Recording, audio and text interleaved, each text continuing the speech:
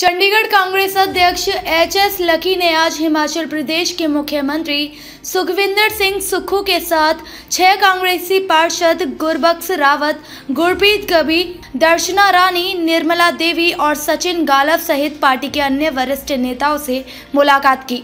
उन्होंने मुख्यमंत्री के साथ चंडीगढ़ की राजनीतिक स्थिति पर चर्चा की और उन्हें चंडीगढ़ से संबंधित मुद्दों से अवगत कराया।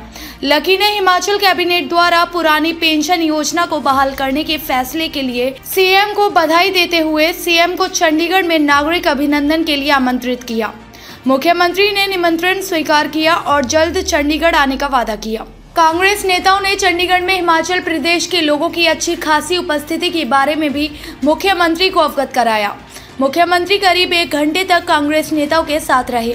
उन्होंने चंडीगढ़ कांग्रेस अध्यक्ष एच एस लकी के साथ अपने लंबे जुड़ाव को याद किया, क्योंकि दोनों एन एस यू आई और यूथ कांग्रेस के अपने अपने राज्यों के अध्यक्ष थे।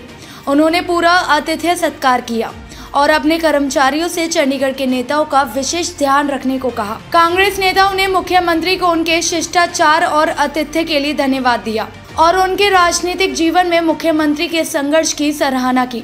सभी नेताओं ने कांग्रेस पार्टी के केंद्रीय नेतृत्व की एक ऐसे व्यक्ति को मुख्यमंत्री नियुक्त करने की भी प्रशंसा की, जो बहुत ही विनम्र पृष्ठभूमि से आता है।